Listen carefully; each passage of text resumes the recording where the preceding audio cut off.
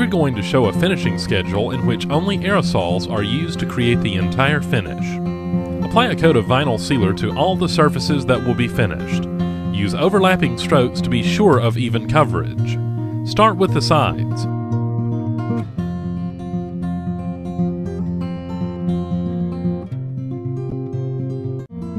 Next, seal the back.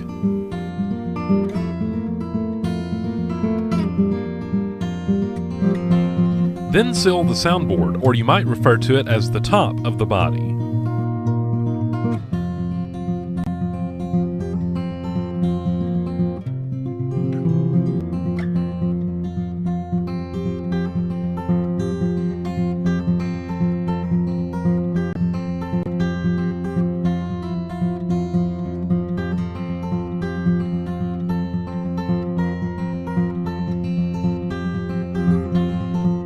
Allow the sealer to dry for 30 to 45 minutes, depending on the thickness of the application and the temperature and humidity at the time of application. Scuff sand the sealer, or in other words, sand lightly with silicon carbide stearate P320B sandpaper so as not to break through the sealer.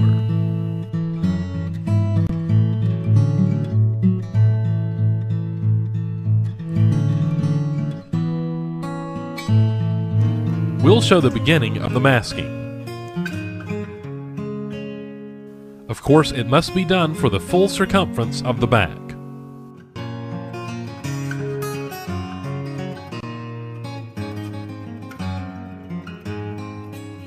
Next, the black trim must be masked as well.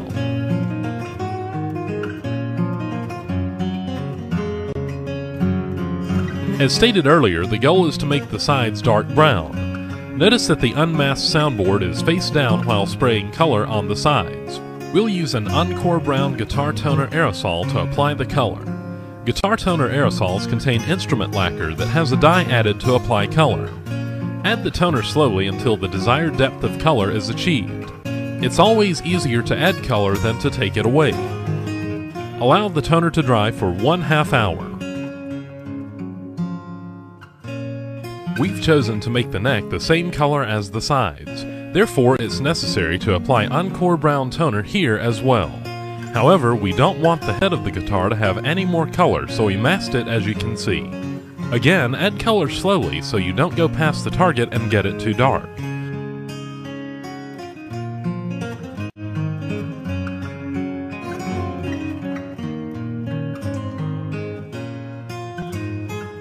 Allow it to dry at least one half hour. Next, we'll apply color to the back of the body. We begin by removing the masking that we applied before spraying color on the sides.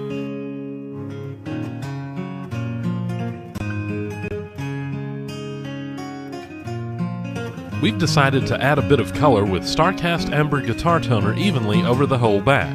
StarCast Amber is a much lighter color than Encore Brown. It has a reddish cast which you'll notice if you spray it heavily. Apply an even light coat over the surface to add a little color. It doesn't have to be a wet coat. We're only adding color. We're not building the finish. Dry one hour. The back is now ready for the sunburst effect. Remember that we cut a piece of poster board to serve as a template for applying the sunburst. The template should be positioned about 2 inches above the surface of the guitar. We're inserting 2 inch screws into the cardboard. Screws will be placed where each X is drawn.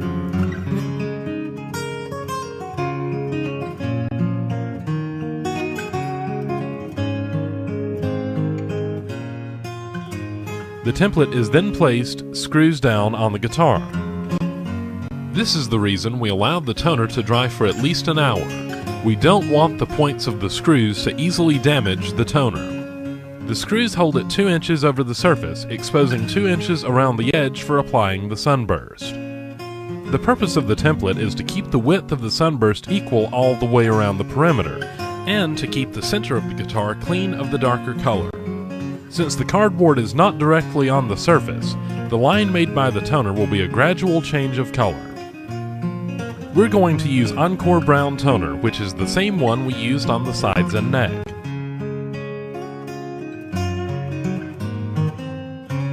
Aim the spray outward over the edge of the cardboard until you've added as much color as you desire. Notice that the can is about 8 to 10 inches from the guitar. If you want a lighter sunburst, keep the can at about 16 inches and add color slowly.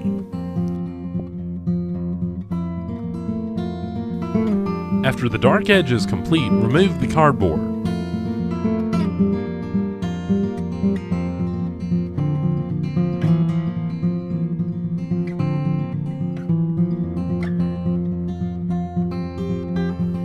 For another effect, the Starcast Amber can be sprayed over the dark edge and in toward the center by about 2 inches or so. Spraying the Starcast Amber heavily will give the sunburst a reddish edge. Allow the sunburst to dry for one half hour. As with our other applications, the goal is to apply an even coat. Since both sides will have to be sprayed, the neck can be hung on a swinging arm. These coats of stringed instrument lacquer should be even, wet, overlapped strokes.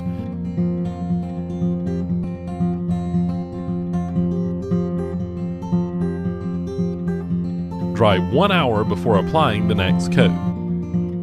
Begin application of stringed instrument lacquer on the body of the guitar.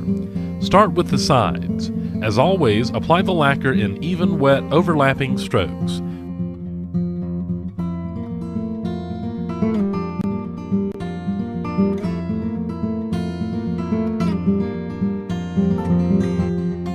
Spray all the way around the sides.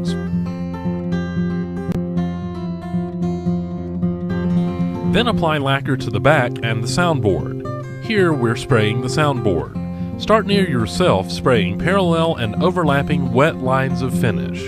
The overspray being generated at the far end of the soundboard will be covered with a wet coat as you progress across the surface. Be careful not to let the bottom of the can touch the guitar. The same technique is used on the back. Continue adding more coats of lacquer to the entire surface.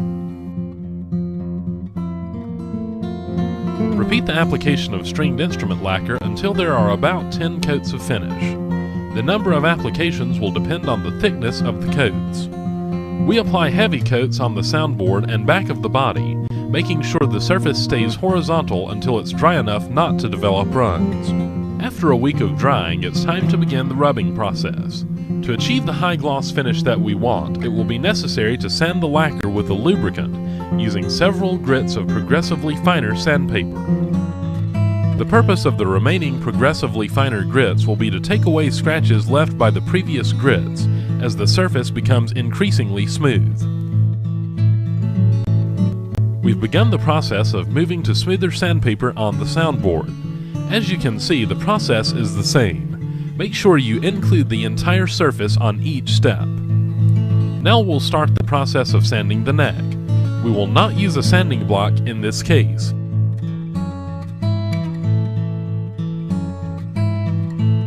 After sanding, we'll use rubbing compounds to take the finish the rest of the way to a high gloss. Begin applying it with a soft cloth balled up in the palm of your hand, spreading it over the surface to be rubbed. It's better to rub in small areas than rubbing the whole side, back, or soundboard at once.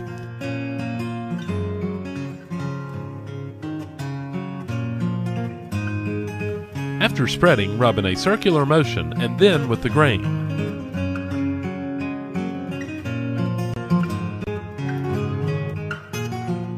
Buff the excess compound away with a clean cloth. Here is the final result of rubbing.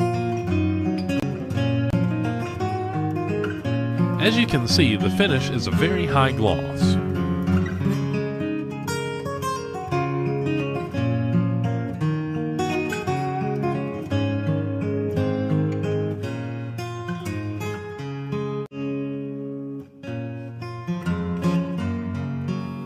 After rubbing the neck, the fretboard must be coated.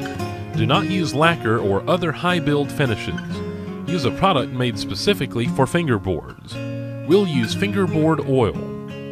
Fingerboard oil is ideal for preserving the feel and appearance of woods, such as rosewood, ebony, and similar woods used on stringed instrument fingerboards. It penetrates unfinished wood and dries hard. As the original application wears, it can easily be repaired with additional applications of the oil. Apply so the surface of the fretboard is wetted.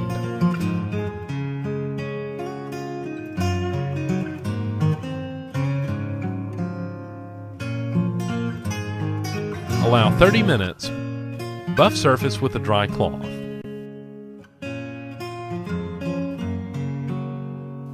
The sheen is dull or uneven, reapply fingerboard oil.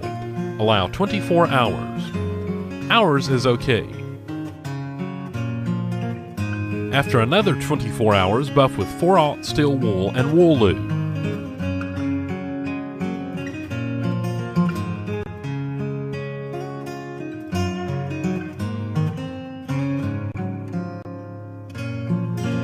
Finally, put the guitar together and admire your work. The guitar is ready to have the hardware and strings attached.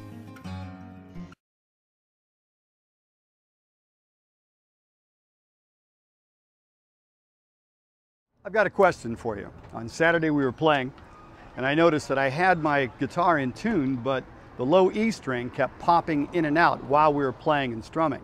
So taking a look at it, I noticed that the nut was busted on top. I found something that said baking soda and super glue can repair a nut. I'm not sure about that. What can you tell me about it? Before I get into whether or not I can help Lou with the nut on this guitar, here's a little background on baking soda and super glue. The baking soda super glue trick. Mix the two together and you get something hard as a rock. This is regular old household baking soda and you hit that with a drop of water thin super glue and go off and let it rest for a minute or two and come back and check it out. I gave this about a minute and it chips like glass. What I use this for is when a nut slot's worn too deep or been cut too deep as at least a temporary fix to get the guitar out the door. I'll show you how I do it. For my demonstration, I'm using an old Washburn guitar from the 1920s. And it's got a lot of troubles with the nut. It's an ivory nut, and the strings have worn way too low over the years. Maybe somebody recut them. And the first string is laying on the fret. I'm just going to move a couple of strings out of the way and only work on the treble E string slot. Check out the string. It's tied together in a knot to get the most mileage out of that string. I cleaned it up with acetone, get all that grease and dirt out, and now I'm using probably a 40 thousandths nut slotting file, rolling it back and forth to get into new material and get rid of that dirt. I want to get down to clean ivory or clean bone so my glue will stick. That's more acetone and a little bit more filing until it gets clean. If it's not clean, it won't stick. I like this little tip of sliding something under the strings to pull my tape in place. Here I'm using my glue spatula, which is good for putting dust into the slot and packing it down. For dust, I'm going to use a nut that I took out of the drawer. That's an old nut off some other guitar. It's bone, not ivory. And it's the perfect color because it's kind of yellowed. So I'm filing off bone dust in the area till I get a little pile of it using the smooth side of a file. I want the dust to be small and powdery, almost like the baking soda. I get rid of the excess so it won't stick to the tape because that super glue is really thin. It could run down onto it and glue the whole thing together. I'll start off the edge and let the glue run into the slot. Now I'm packing in more dust and another shot. That took me two times to fill it. And it hardens almost as fast as the baking soda. Something about bone and ivory and super glue. Reacts real quick. Now I'm just going to reshape it a bit, get it smooth. It's all filled. Then I can cut the slot for the string. Hopefully I can save that original E string. It's vintage. Make a little impression in the material from the string and follow that with a sharp feather file. And I use a razor saw, little, I think that's probably a 10 thousandths gauge precision saw to cut that slot.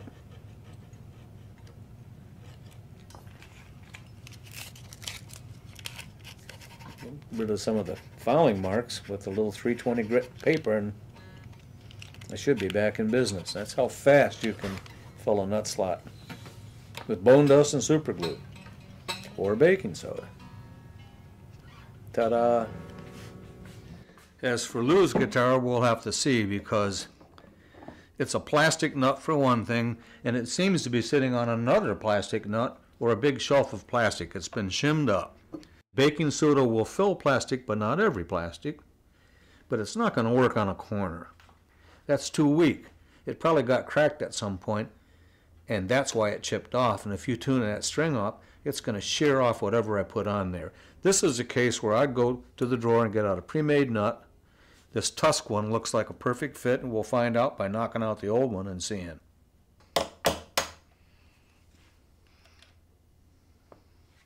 This is great. It slides in as tight as I could ever fit it by hand. I don't even need a file or a chisel. It's getting tight right there. Like sliding in a drawer. I'll put on the two outside E strings and if they're right, it's gonna work.